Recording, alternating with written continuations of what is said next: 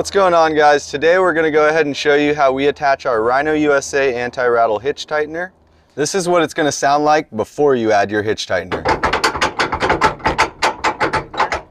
The first thing you're going to want to do is take this U-bolt here, place it over the hitch. Then you're going to want to take this base plate, make sure that the lip is up and facing the hitch. Go ahead and slide it onto this U-bolt like so. And from here we're going to want to start with our split washer.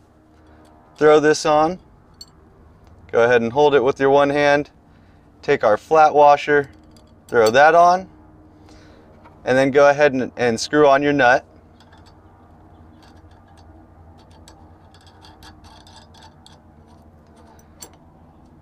And then you're going to go ahead and do the same thing for the other side, starting with that split washer, the flat washer, and finish up by screwing on the last nut.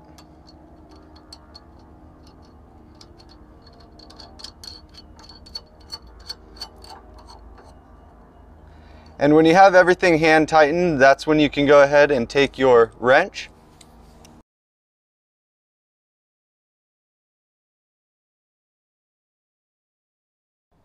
And just like that, you'll never have to worry about a rattling trailer hitch again.